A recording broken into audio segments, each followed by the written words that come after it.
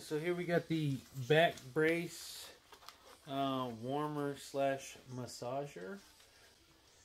You charge this little battery pack that comes with it, and then it looks. I mean, it's just like a normal battery pack, right? You charge it, and then you pop it right in here, and then you long press for one to three seconds to power on.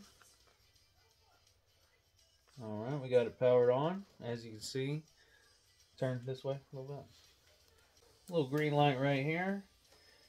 This one right here is for the massager. Don't leave your power bank plugged in when you're not using it, obviously. I mean, obvious to me. But you hold that down. Oh, So you got a little heat, a little massage going.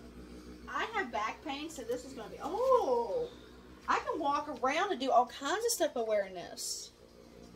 Oh, I need it down a little bit. Oh, right there. Oh my goodness, That feel good? I love this. Oh my goodness, look at this.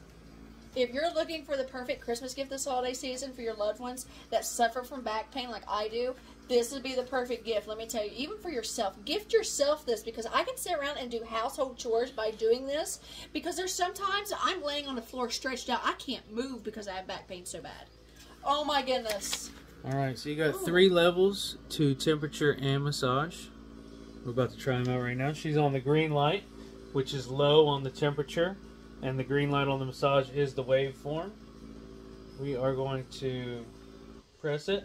Now we got blue, which is intermittent, right? Turn, like turn this way.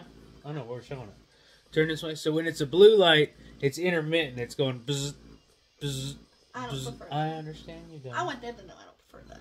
And she don't prefer a lot of things. and then when we change it again to red, it's lateral vibration, right? Definitely a different feel there. It, yeah, I can see when I was. No, I don't like that one. I like that other one. I Just, like just steady vibration. I like the steady. All right, and then the heat temperatures, we got medium. You feel it heating up? Oh yeah. Now, how long can I wear this? Can I wear this all day long? I'm working on that. Uh, so the heating and the vibration. I love this. And they got one more heat level, which is red, and that's high heat. Get cranking up on her now. That feels good. Yeah. This is nice. You can use a wet towel to wipe the heating pad surface to clean it, but you cannot wash this heating pad.